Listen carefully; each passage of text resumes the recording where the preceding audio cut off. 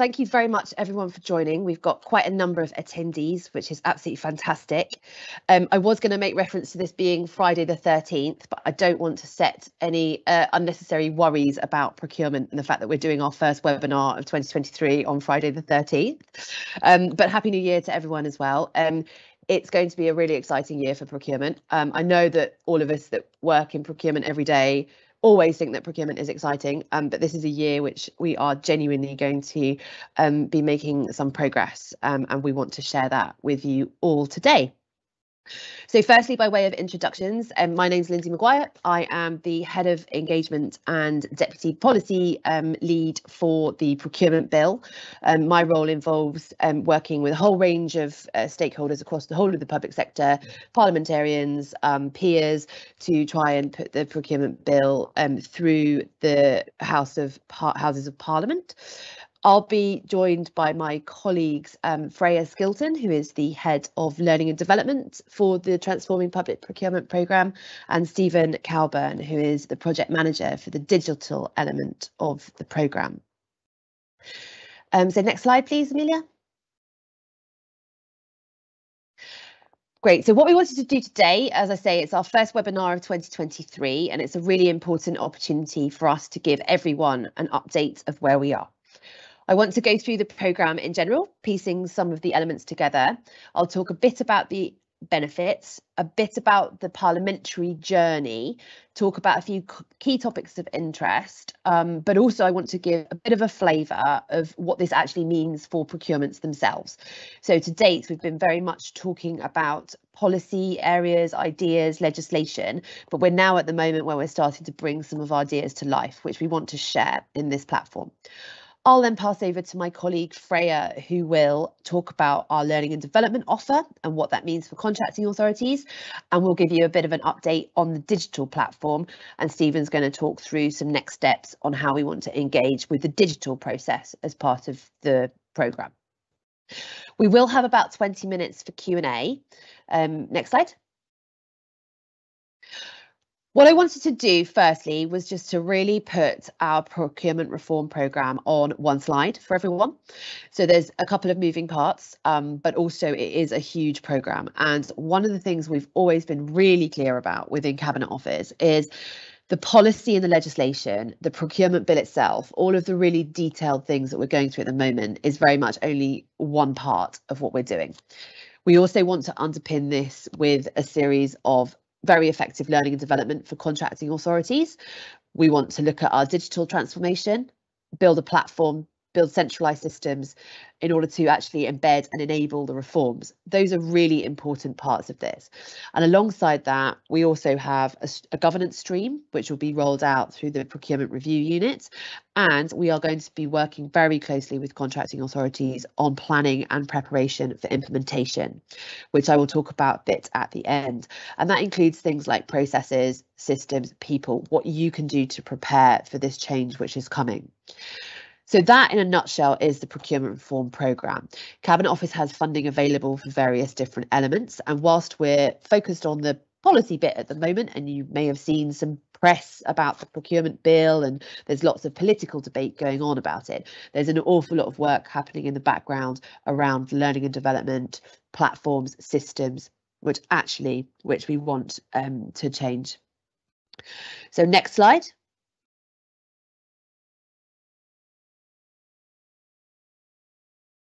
So firstly, I just want to I just want to clarify what our benefits are for the UK.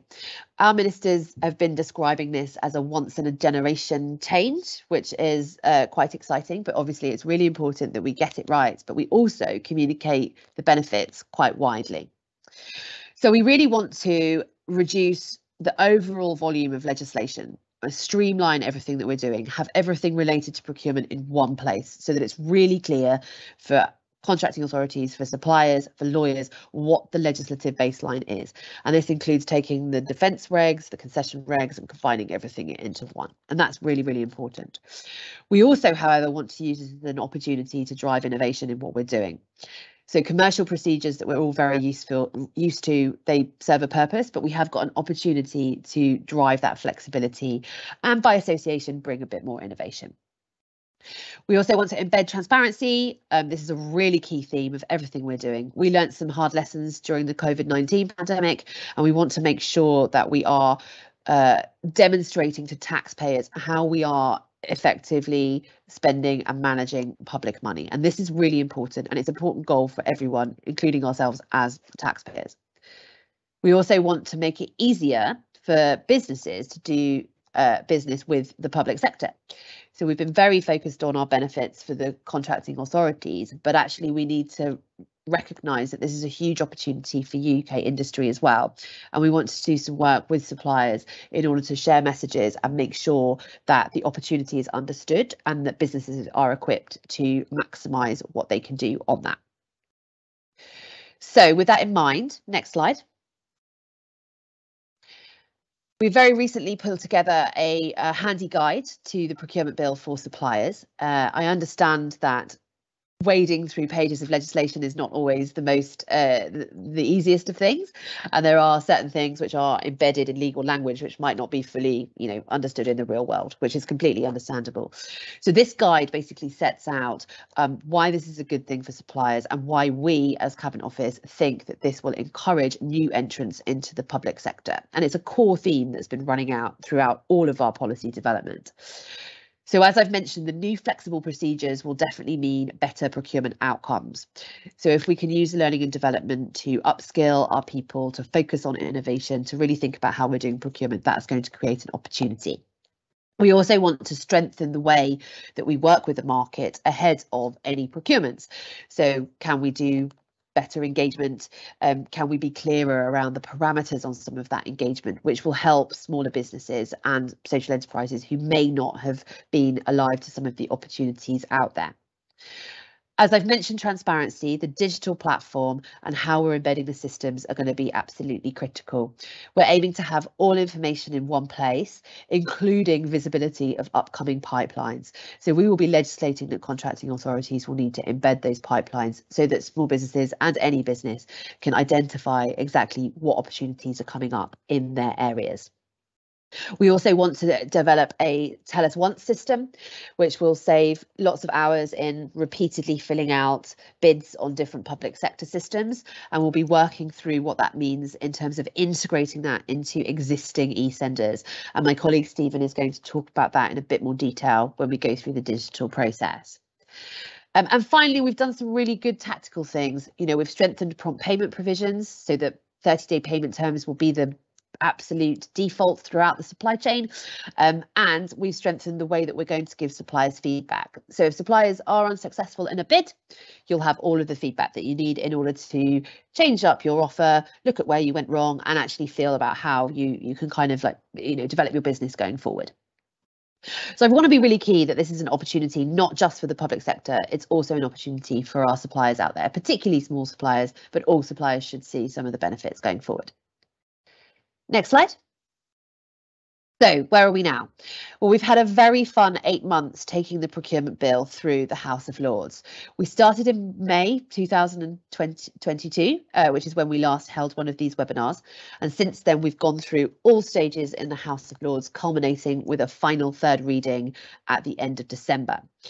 The procurement bill had, uh, I think in total, about 38 hours of live debate with peers. So that just goes to show just how important procurement is, but also how big some of the topics are that we are discussing in these contexts. So a lot of the feedback from the peers and a lot of the debate, um, it was not necessarily about the technicality of how procurement functions. It was more around what procurement's role is in terms of enabling wider policy. So we had lots of debates around principles, net zero. Um, there was lots of debate about specific sectors, so engaging on surveillance technology, for example, um, what this means for a global supply resilience market. And those are huge issues. And obviously, we've had to pitch the procurement bill um, in a way which it will form the baseline of legislation for everything from schools buying stationery to the MOD buying uh, you know, complex infrastructure and military equipment. So the procurement bill itself is the framework. What we do in policy and how we move this forward is going to be really important. And that's why we've cemented the National Procurement Policy Statement within the legislation itself. And that's how we're going to manage our strategic priorities for procurement. Following all of that debate in the House of Lords, there were some changes, there were some amendments, which I'll come to on in a minute. We are now in the House of Commons where we start the process all over again. We had a very detailed debate on Monday, which was three hours, where the opposition uh, set out their you know expectations their challenges their goals um, and we will now go into a detailed committee process whereby each member of the committee will go through things clause by clause and that's the real chunk of parliamentary you know scrutiny and progress. Everything's updated online so you can have a look see who's interested. You can watch the debates. You can read everything that we've published um, to get a flavour on how the, the procurement bill is actually being viewed in the political process. So let me just talk about some of the changes if you skip to the next slide So these were all changes that were made at the end of the, the process in the House of Lords uh, in response to strong feeling from peers, but also in response to some of our own policy developments. So one of the things that we realised when we published the bill was that uh, the definition of procurement is very wide and it was becoming a bit confusing as to what was a regular procurement, not necessarily covered by a public contract, not necessarily in the public domain, but it also could cover some of the things such as exclusions. Now, this is a really technical point, but legally it could have been a, a bit of a problem down the line. So we've introduced a new concept of a covered procurement.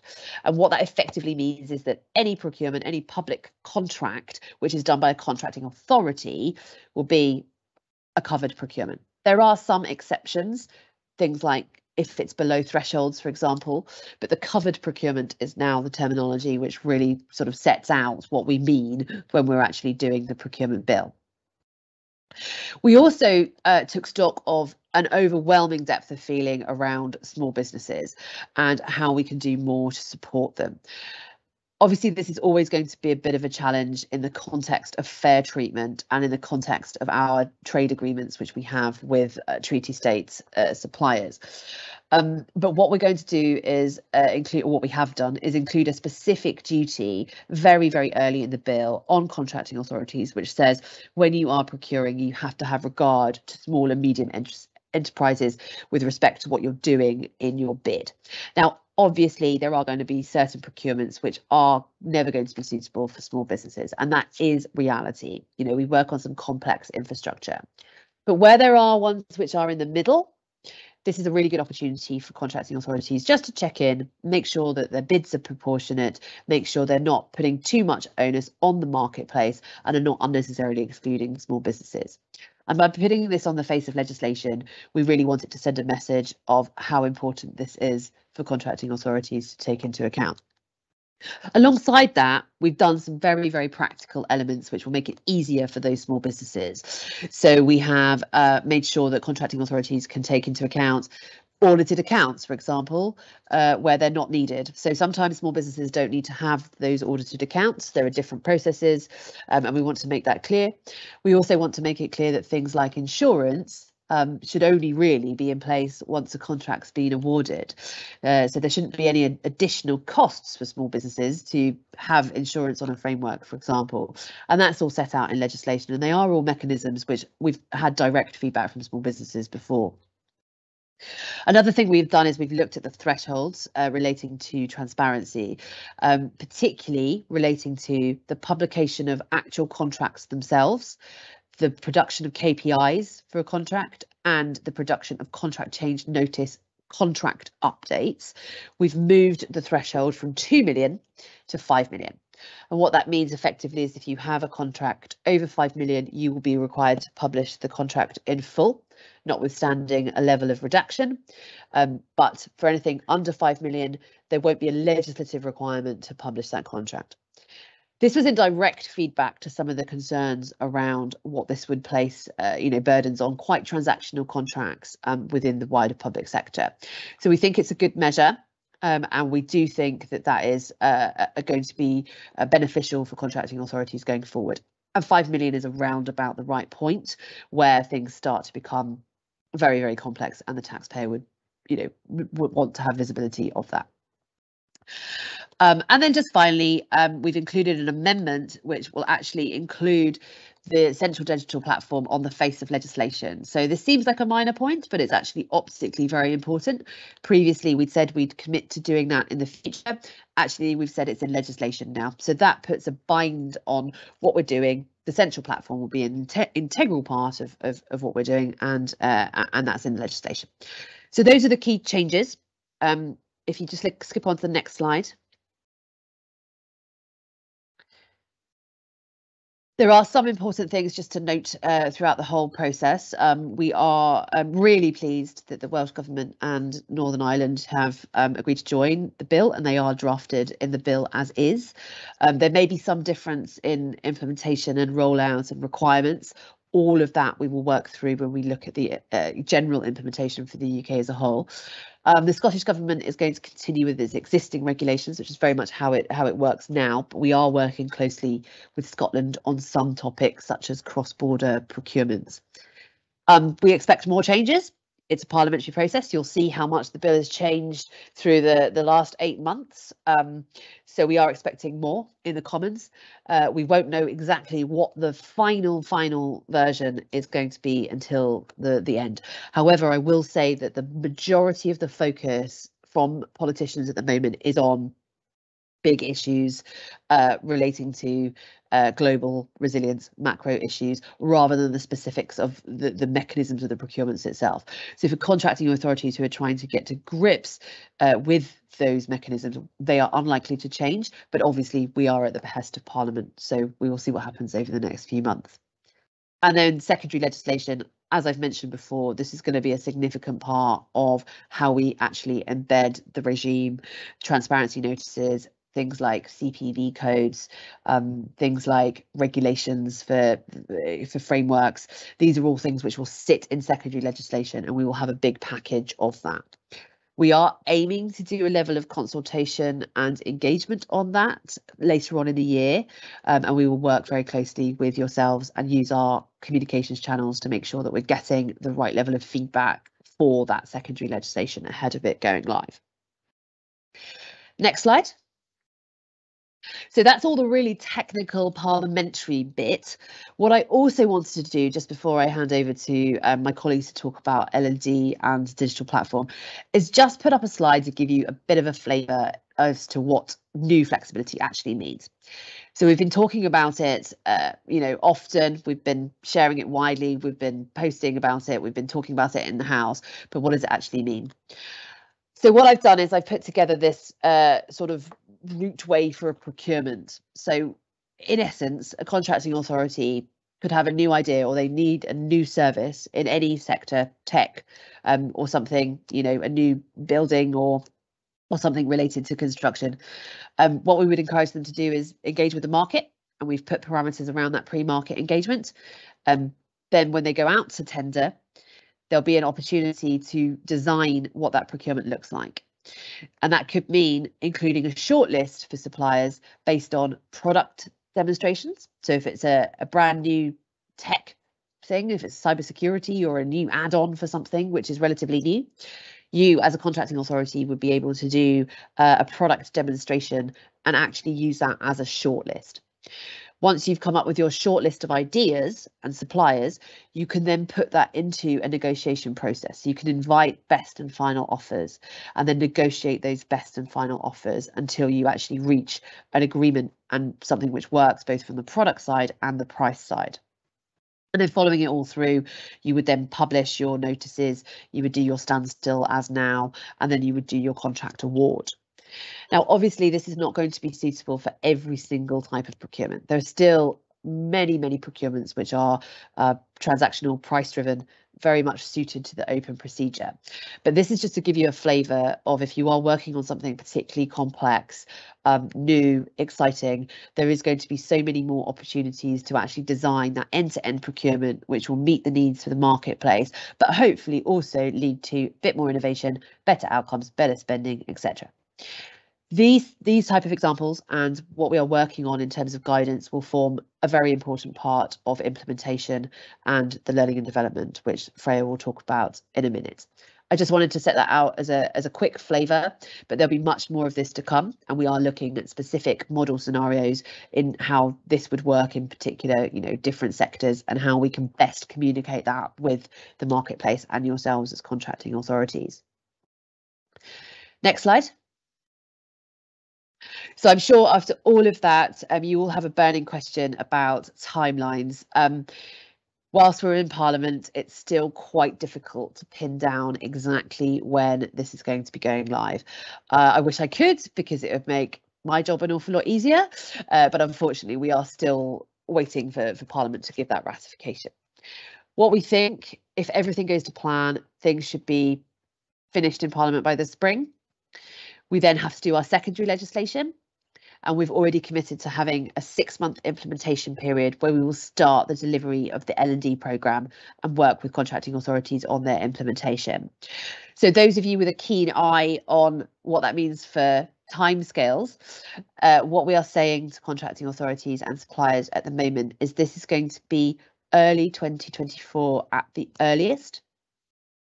We will continue working with Parliament, we will continue working with our directors and our ministers here and aim to come up with slightly more concrete date which we can then communicate through our channels. But we don't think this is going to be a 2023 go live because of the bulk of secondary legislation, but also because of the, the importance that we're putting onto the learning and development. So early 2024 at the earliest. Um, it may be later, but we will certainly be communicating that quite widely as soon as we can. Next slide. Great. Well, that was just a bit of a whistle stop overview of some of the parliamentary bits and timelines. I'm going to pass over to my colleague Freya Skilton now, who is going to talk through the learning and development offer um, and what that means for yourselves going forward. Thank you. Over to Freya. Thanks, Lindsay. Um, yeah, good morning. Hello, I'm, as Lindsay said, Freya Skilton. Um, I'm going to talk through the um, learning and development element of the TPP programme. If you would like to move the slide for me, please. Excellent. So fully funded places on our learning and development courses are being made available. So they are free at the point of delivery, which I'm sure you'll be really pleased to know.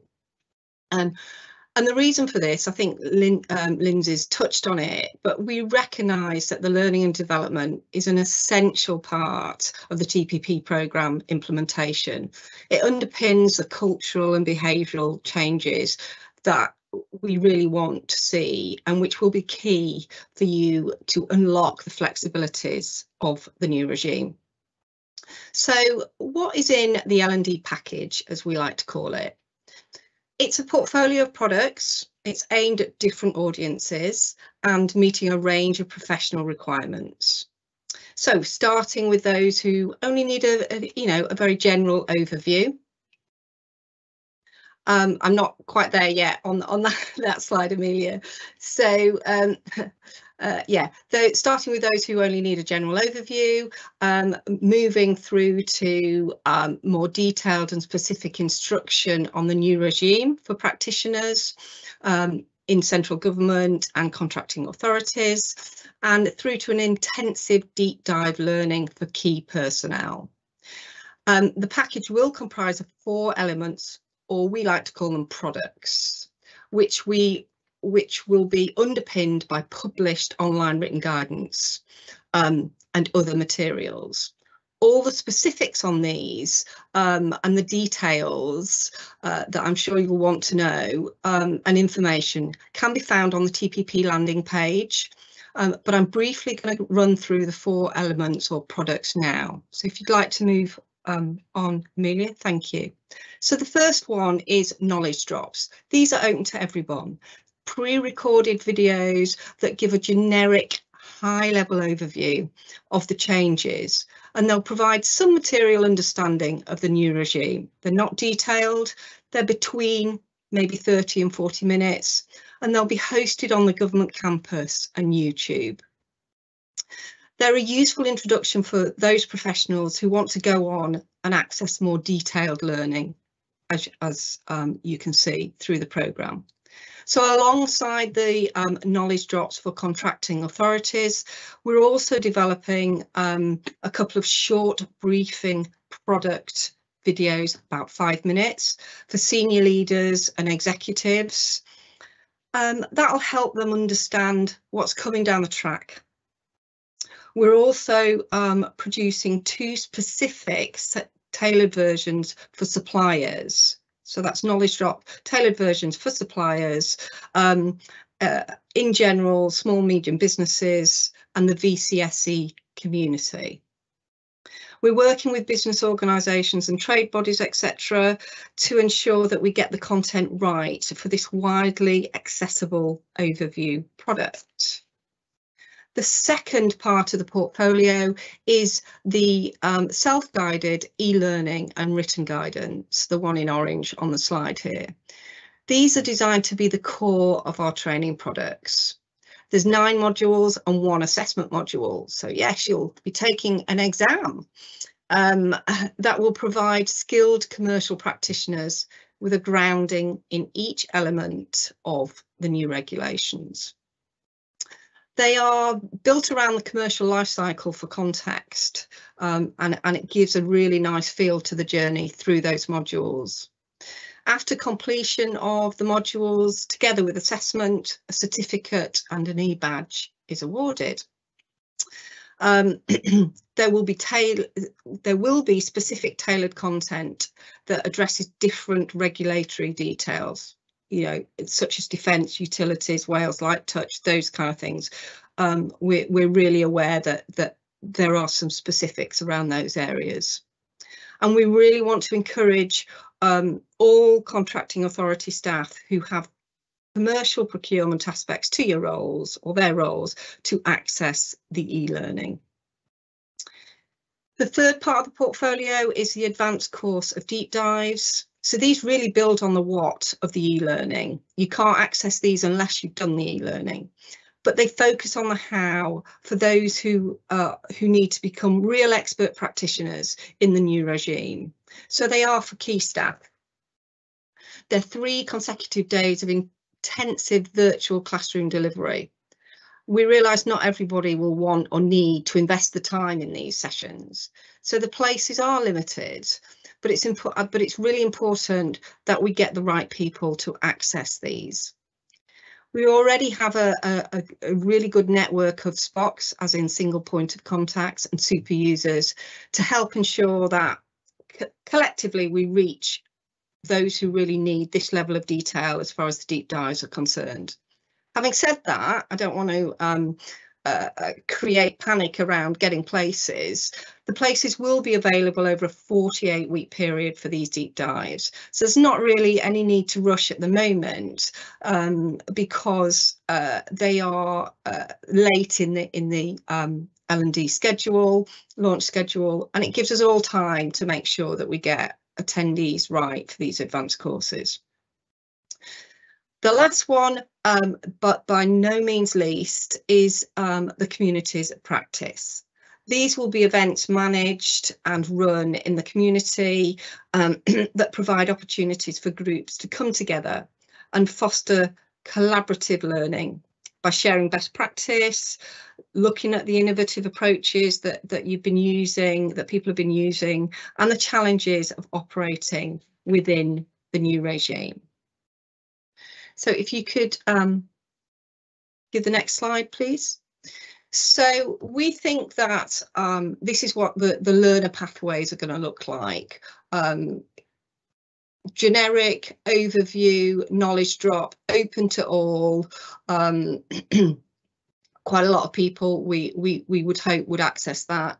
If you're a skilled practitioner, you would we would want you to access the knowledge drop build on that knowledge and then work through the online e-learning certification. Um, you may want to underpin that learning with communities of practice. And then as an expert practitioner, we would expect you to um, look at the knowledge drop, then maybe um, do the online um, learning with certification and the advanced course of deep dives. Also underpin that with communities of practice. So you do the whole journey for an expert, an expert practitioner. Okay, moving on.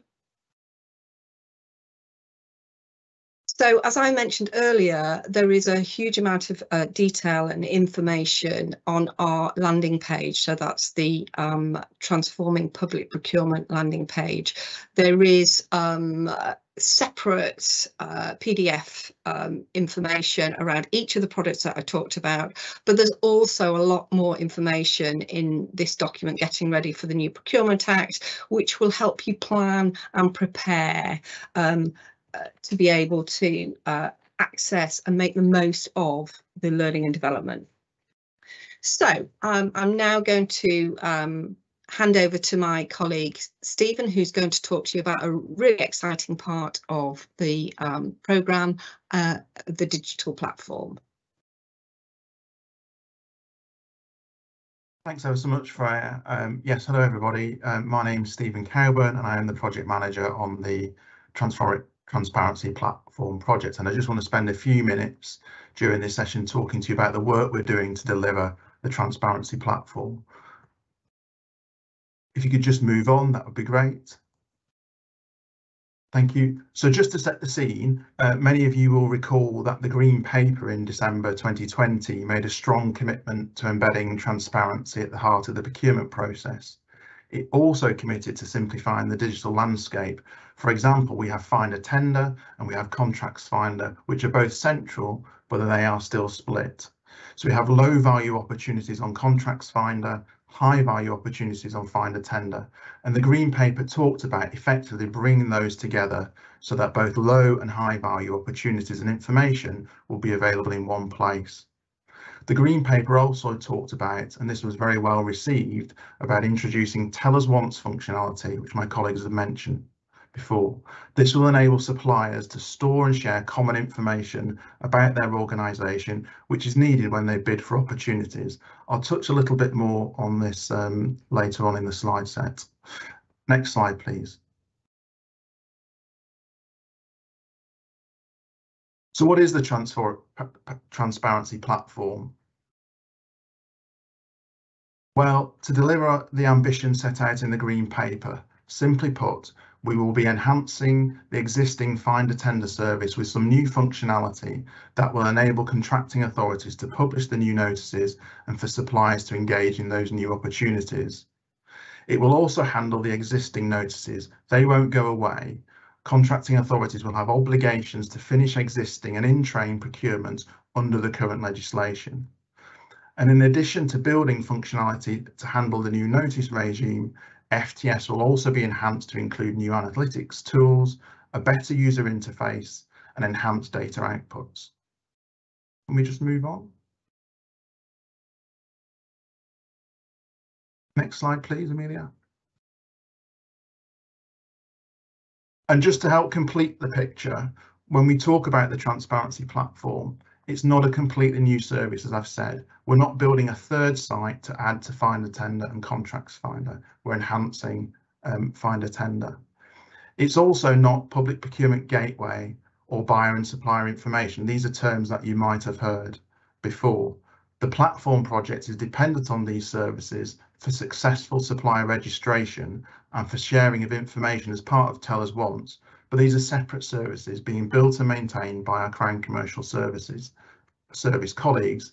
This is much in the same way the existing registration of use of Contracts Finder and Find a Tender is done through the Supplier Registration Service, SRS. Again, this is a separate service. Now, the ambition is that when we put all of these things together, the user journey is such that when you leave FTS to register to input information, it is seamless and you shouldn't realise when you've left FTS and gone to another service. It's also worth restating that FTS, the transparency platform, is not an e-procurement system. It's a noticing system, the front door, as it were, by which suppliers can look for opportunities or the public can look at information or download the data outputs to do their own analysis. All of the actual activity, for example, the procurement activity, the evaluation or, or award, happens on contra contracting authorities' local services, and we will be providing technical information to e-senders so they can integrate this into their services. This means contracting authorities will continue to share the information with FTS as they do presently. Next slide, please.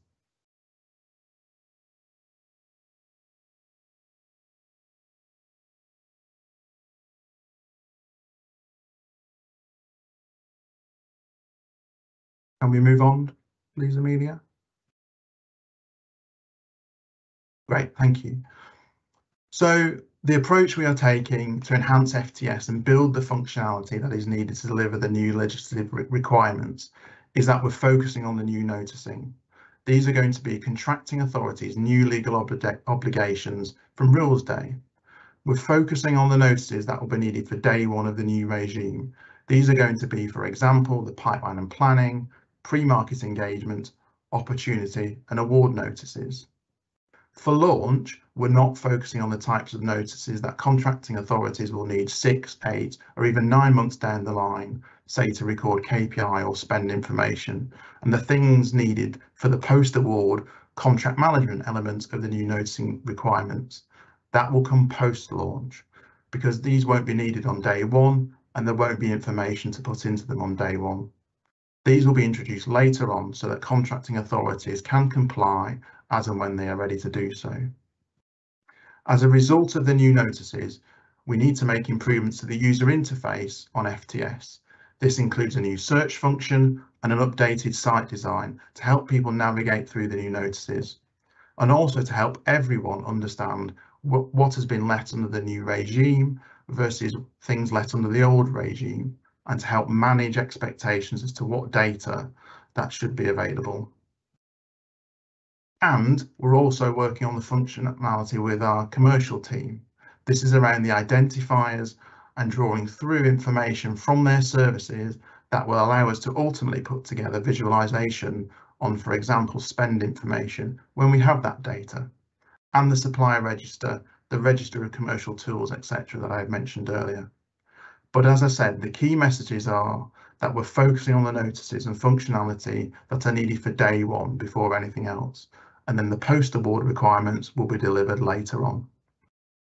Next slide, please.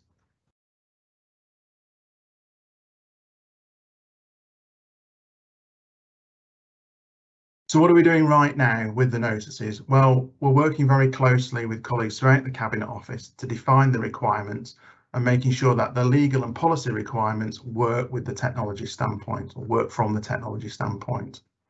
When those requirements are defined and finalised, we are mapping across to the Open Contracting Data Standard.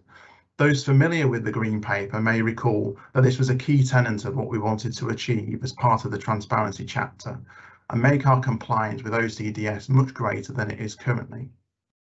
I mentioned already that we're effectively splitting our development approach into two phases. Phase one is the notice, notices needed for day one, plus the enhanced user interface functionality. Phase two, those post-award notices and the application of spend data and providing analytics, etc. All of this is dependent on the legal definition work, which is incredibly complex and detailed.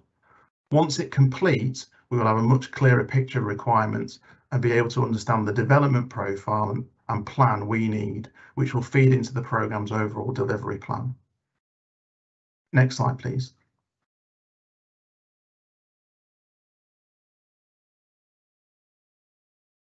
So to facilitate all of this, we're having conversations with the e-senders.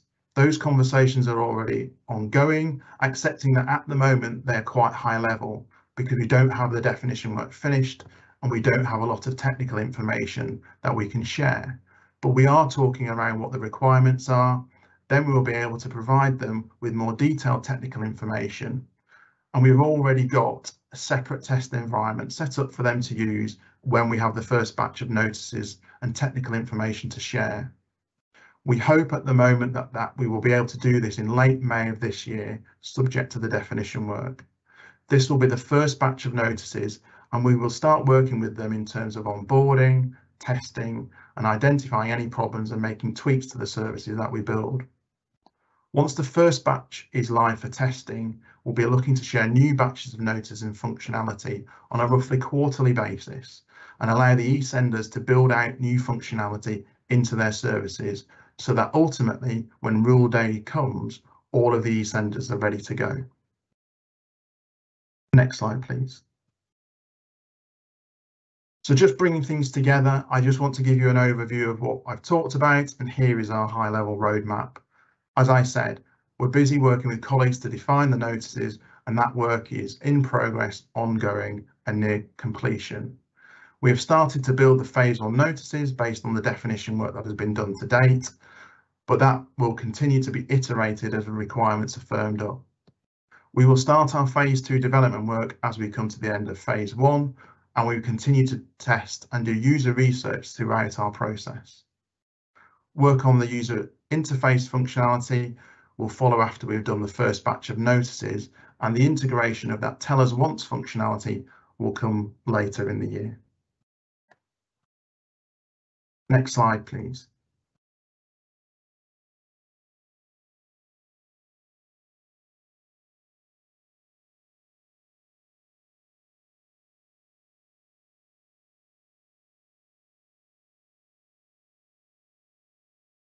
Are we okay to move on, Amelia? It's probably just taking time to come through. Brilliant, thank you. Um, I just want to finish by saying a little bit more on the tell us once approach. As I mentioned, this is being delivered by Crown Commercial colleagues through their two products, Public Procurement Gateway and Buyer and Supplier Information. PPG is going to be around user registration and sign-on. It will be where organisations are issued with a bespoke reference number, known as the PPON number, and it will also be where some basic information about them is stored. As part of this, individual users will be matched to their organisation, making it clearer than at present who is associated with which organisation through the process. With the buyer and supplier information element, this is the evidence locker functionality. Once people have registered, their organisation will be able to store their common information that is used all the time so that it can be shared and reused rather than having to keep re-inputting into it. I've come to the end of my section of the presentation. I hope that has helpfully given you a clearer picture of the transparency platform work. Thank you for listening, and I'll now hand back to Lindsay um, for the next set of slides. Thank you.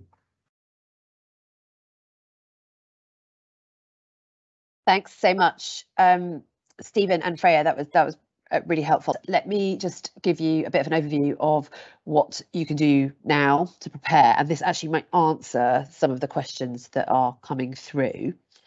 Um, so what we're saying is uh, right now, you know, make sure you understand your current processes for procurement. Um, are your procedures robust? Um, do you understand how your market engagement works? Um, supplier evaluation, I'm sure absolutely everyone does this is just an opportunity to look at your processes and procedures in the context of change, which is coming.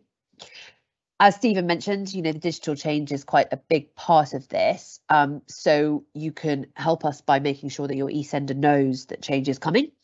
We have posted the link to the landing page and everything in the Slido. It might be a bit difficult to, to find, but if you search for Chris Kirby, um, he's posted it in there, so everyone should have a copy. Um, flag that to your e-senders. There's also the opportunity to volunteer for some testing. That's on the FTS homepage.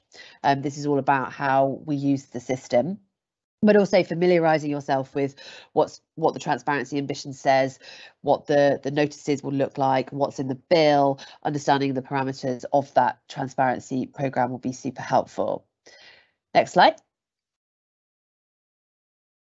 so with people at L&D, as Freya mentioned, we've got a very detailed L&D offer, which we've published. Again, it's in that link. Um, think about who in your organisation will need to attend the, trend, the training. As Freya mentioned, we've got um, funded places um, and we have uh, in most sectors and organisations uh, a kind of a dedicated single point of contact for that. So um, if you don't know who that is, um, you know, make contact with them, find out what their plans are. If if we don't have one specifically, then drop us a line. I'll give you our email afterwards. Um, but also consider the procurement and contract management capability generally across the organisation. There are quite a few tools out there which might be of, of help to this. So the government commercial standards, for example, um, the national procurement strategy. There's lots of ways that you can have a look and see where your uh, organisation sits in terms of its capability and, and capacity and that will be important to understand who needs to go on the training and how the training is going to impact your organisation. Next slide. And then finally, um, we really want to prepare for a smooth transition. We understand that, uh, you know, in in times when resources can be quite stretched and, and things are quite challenging, that transformation isn't always uh, welcome and, and positive. Um, so what we want to do is make sure you have everything that you need in terms of our communications, our guidance, um, and what the Cabinet Office can do to support um, everyone in this journey. Um, so what we're recommending now is if you do a review of your pipelines to identify you know what your planned procurements are.